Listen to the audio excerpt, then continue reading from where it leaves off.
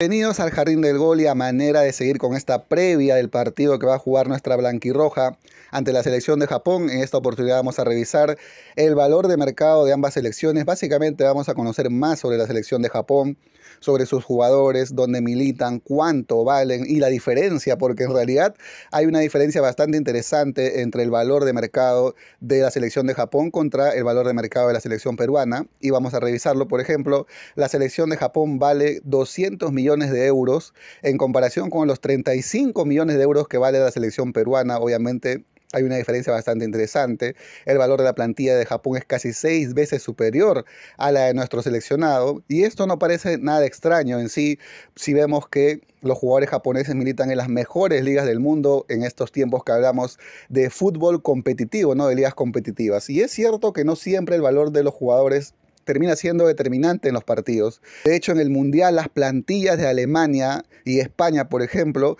superaban largamente a la de Japón. Y al final el cuadro japonés terminó ganando la Alemania y España dando una de las sorpresas del Mundial. Y aunque parezca increíble, perdió contra la selección de Costa Rica, que era la más débil y no solamente eso, sino que tenía el valor más bajo de mercado en el grupo. Bueno, a manera de seguir con la previa ¿no? de este partido, vamos a revisar el valor de los jugadores más cotizados de la selección japonesa que enfrentará a Perú este día martes muy pero muy tempranito y vamos a comenzar con Daichi Kamada de 26 años, que es mediocampista del Eintracht Frankfurt de la Bundesliga de Alemania. No estuvo en el partido contra El Salvador, pero de hecho que estará contra Perú, eso sí no tengan duda. Su valor de mercado, según el prestigioso portal Transfers Market, es de 30 millones de euros, siendo el jugador más valioso de la selección nipona. Y además se dice que podría ir al Milan o al Atlético. Bueno, aparentemente el Milan se quedará con el gran jugador Kamada. Y ahora seguimos revisando la plantilla de Japón y nos encontramos con Takefusa Kubo. El jugador de la Real Sociedad es el segundo futbolista más valioso, milita en este equipo como extremo y jugará la próxima UEFA Champions League en la temporada siguiente. Su valor actual es de 25 millones de euros y con 22 años tiene mucho futuro y también bastante por darle a la selección de Japón.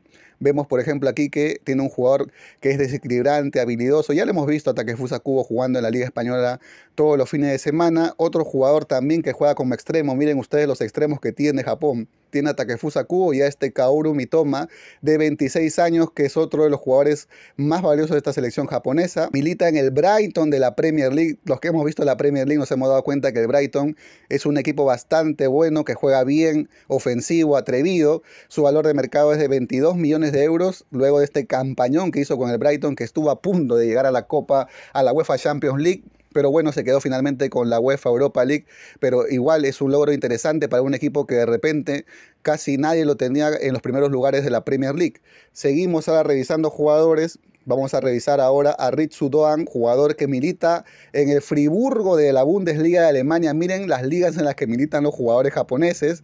Actualmente su valor de mercado es de 15 millones de euros, entonces también hablamos de un jugador que es muy importante en su equipo. Otro jugador también muy valioso de la selección de Japón es Ko Itakura, que juega en el Borussia Mönchengladbach de Central, también en la Bundesliga de Alemania, tiene un valor de 12 millones de euros. Miren ustedes, un central con un valor bastante interesante.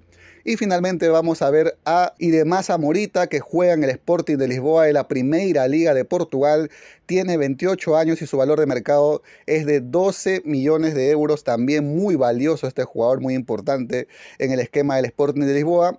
Hay un jugador más que no hemos mencionado, obviamente, porque no ha sido convocado. Hablamos de Tomiyasu, el defensa del Arsenal de Inglaterra, de la Premier League también, que no ha sido convocado porque ha sufrido una lesión, se perdió muchos partidos con el Arsenal. Y bueno, su valor de mercado es de 25 millones de euros del jugador Tomiyasu que también es parte de esta selección japonesa que, como hemos visto, tiene un valor de mercado bastante elevado. Vemos que es una plantilla con un valor importante, pero no solo son números, sino que también están en ligas competitivas y de primer nivel ya que por estos tiempos ¿no?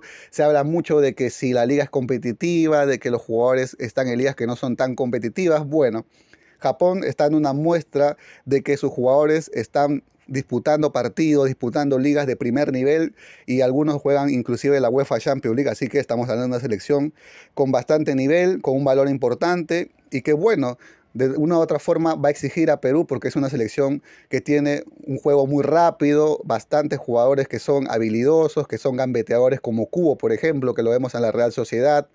Igual este Mitoma también que al Brighton le da salida, que al Brighton siempre le da una oportunidad de ataque. Y bueno, Solo queda jugar este partido. Viene de golear 6 a 0 al Salvador en el partido amistoso anterior.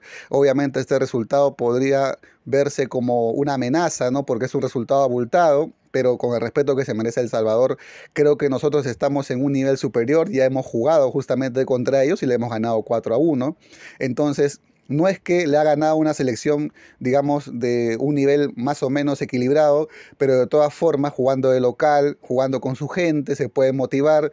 Hay varios jugadores que son jóvenes, que tienen todavía para darle un par de eliminatorias como mínimo, ¿no? Si es que no siguen jugando, al igual como nuestros seleccionados, ¿no? Que muchos de repente decíamos que la eliminatoria pasada podría ser la última y siguen jugando. Entonces, creo yo que en el lado japonés, donde hay jugadores con mucho físico, ¿no? que físicamente están bien, que son técnicamente también bien dotados y que son de una inteligencia rápida, ¿no? porque salen veloces. Ya hemos visto lo que le pasó a Alemania y España en el Mundial, entonces obviamente hay que estar con bastante atención. Así que se viene este partido. Hemos visto en este video, hemos querido conocer un poco sobre el valor de los jugadores, a conocer también dónde militan, en qué ligas competitivas militan estos jugadores y bueno, solamente queda esperar el encuentro este martes 20 a las 4 y 55 de la mañana y al final lo estaremos comentando aquí en el Jardín del Gol.